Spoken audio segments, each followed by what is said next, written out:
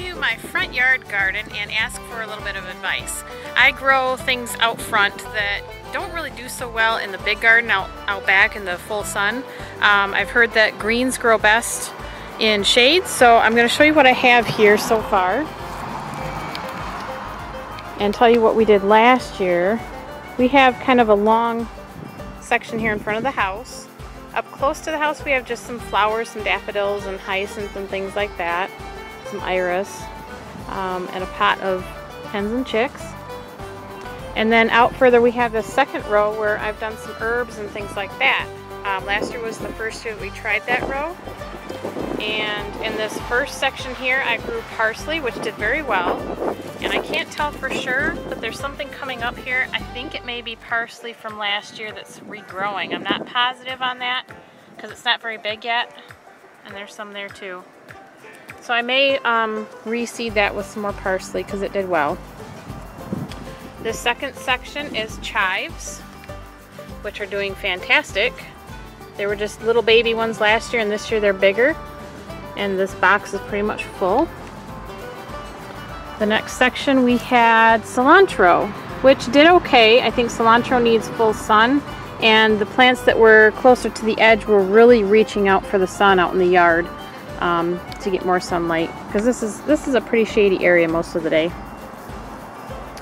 And this is sorrel and if you have not heard of sorrel it's a green like you put in a salad. It has a lemony flavor to it and if you put this in a salad with maybe some baby spinach or some lettuce, you almost don't need salad dressing because this has a lot of tang to it. It's very tasty.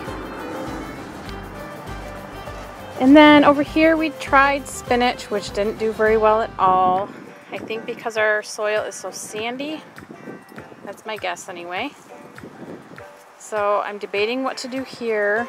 And we had a couple of cabbage plants here that got eaten by worms And then last but not least, we have some kale.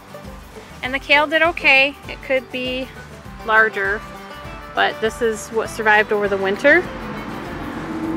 And it doesn't look like the pests have gotten it yet. But I'm happy to see that returning and hopefully it'll get larger this year with some natural fertilizer. So the advice I'm asking is, what are some good perennial greens that you like to grow that do well in areas that have a lot of shade, more shade than sun? I'd like to get um, planting some things in here that we don't have to really seed every year. And I do have some seeds that I found in my seed box that I'm going to try to plant. I've got, well I do have my cilantro seeds that I'm going to plant those, um, which are not perennial. I have some coneflower, which I'm going to plant, um, which is a perennial. And I happen to find some purslane seeds which I don't know for sure if they're perennial. I think they reseed themselves and will come back the following year. Um, so we're going to try that. They're old seeds, so I'm kind of taking a gamble on that. And I also found some carrot seeds. I don't know if carrots need full, full sun or if they do okay in the sand here. Um, these are a couple years old too, so I'm kind of taking a gamble with those. But this is what I got.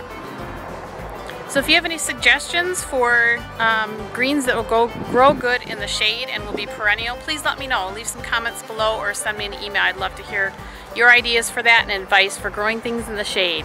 I'll catch you guys later. Bye.